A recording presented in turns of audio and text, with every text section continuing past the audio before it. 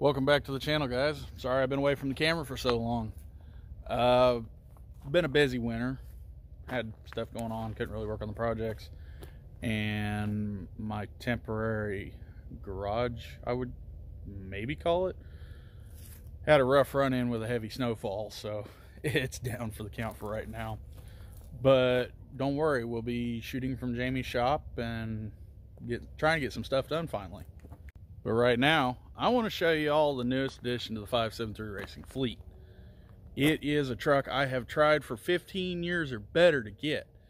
And my girlfriend and her mom made it happen last Christmas. But we just now managed to go get it because she lives four hours away from us. And every time I'd try to go or something like that, something would come up and I couldn't afford to, or weather would hit, or, you know, I give you a whole list of excuses. Plain and simple, we didn't get it till last weekend. So, for those of you that really know me, you would assume my dream truck is a Dodge, given that I've got four Dodge trucks at the moment, plus three Dodge cars. Got them sitting right there, plus my Jeep. But it's actually a Chevy. I have been in love with lowered OBS Chevys, the GMT 400 platform, since high school, since I could first drive, really. I've always wanted a Mustang, but as far as trucks go, I've always wanted this. Here she is in all of her uh, glory. Now, the cool thing about this truck, we call her long haul. She's got a 5.7 Vortec, a 5-speed. It's a 1-ton, as you can see. But here's the part I'm in love. Crew cab, long bed. We measured it out. It's something like 22 feet from bumper to bumper. It's the longest vehicle in my fleet.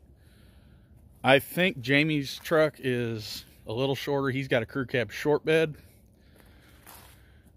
But this is what I wanted. Almost. It's a single wheel. I'm going to convert it to a dually but right now it's got to tow my race cars because I'm wanting to trade my 2019 Ram in on something a little more fun and a little cheaper. Now don't get me wrong, she's not perfect, but she's mine and the price was right. It's got some cracks in the dash, needs mirrors. The seats are in pretty good shape other than this hole right here. And it's up there in miles five speed truck, small block. I think I already mentioned that already though. A pretty awesome sticker collection on the back window. But unfortunately, it's going to need a bed. I was told it had a rough run-in with a cow. Nothing major, but it's easier to just replace the bed than it is to fix that. And I'm going to change this door as well just because of that.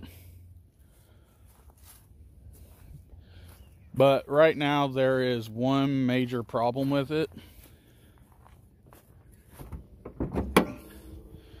Motor's in there, but it's blown.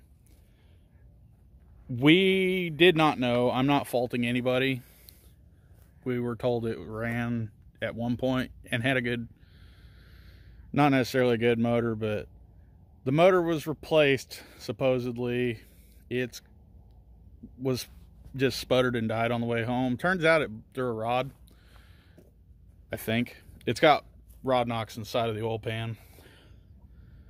So i'm going to do the easy thing and just replace it. I'm going this weekend to one of the local pick and pulls. Find me a four find a five seven sorry excuse me. And that's going to be the first order of business I need to get this truck running. This is, well, for one, it's my dream truck, and on top of that, it's got to be my tow rig.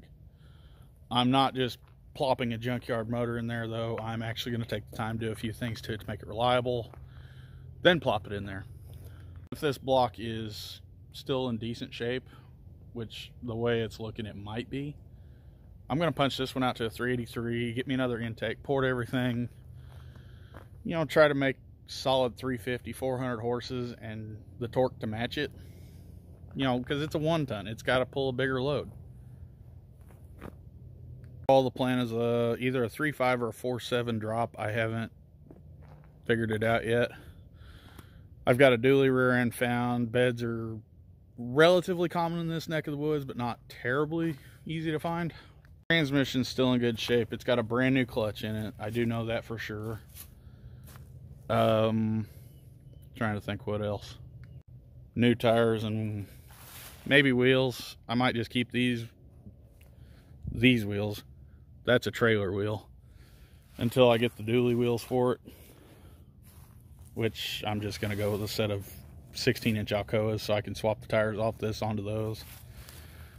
I do want to convert it to a GMC grill because I like that style grill better than I like this. And I'm going to put the interior pieces to match. I might consider new seats for it out of a Sierra, but I'm not sure yet. The steering wheel at the very least is going to get replaced. After all that's done, that 2019 Ram's leaving, getting replaced with something I like a little more than it, and we'll keep going. So I'm going to wrap this video up for now because it's getting close to dark and I want to go inside and enjoy my Saturday night. So follow me on TikTok, Ethanol573, Instagram, 573 Racing, uh, Facebook. I am going to start posting on there regularly again. If you're from there, that's 573 Racing as well. And I'll see y'all next time.